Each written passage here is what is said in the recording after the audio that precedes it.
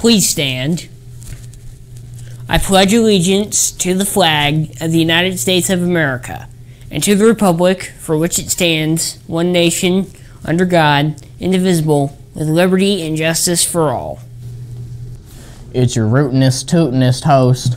I don't make country music, but they still go yeehaw.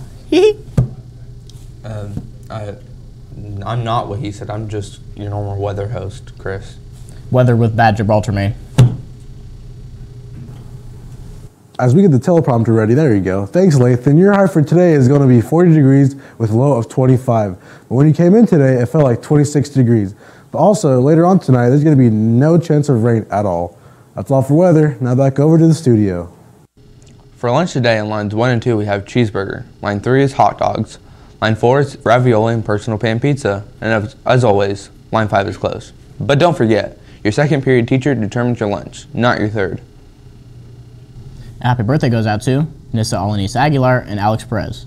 Now listen, Adora, to the two-time back-to-back champ, Dr. Mo Respect. Thanks, Lathan. Last night, the boys basketball team went on the road and beat Clinton Central 61 to 44.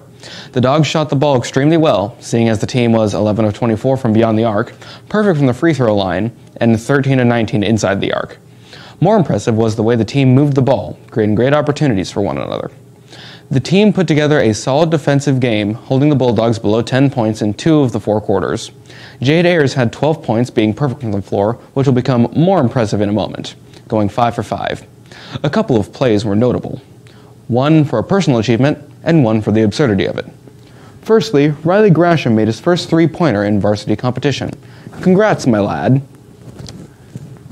Secondly, Jade Ayers decided to yeet the ball before the first half's conclusion. Surprisingly, it went in. Hats off to you, Jade. The team returns to action on Friday night in their final game of the regular season and senior night against Logansport. Back to your hosts.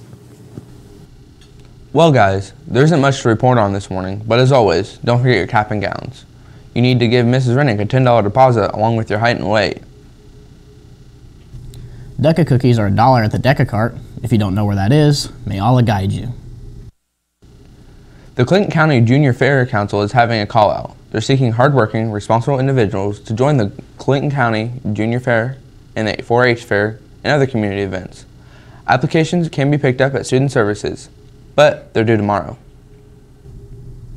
You can purchase a yearbook in the bookstore for $35 so you can look at it now and talk about all the people you like and dislike with your friends, just so you can forget for the next 10 years to find it in your parents' house when you come home for Christmas and they told you they found it during a deep spring cleaning.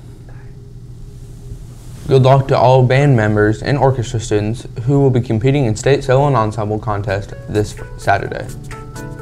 I've been informed that IZ might be a bloodhound main. Either way, he's still going to be bad.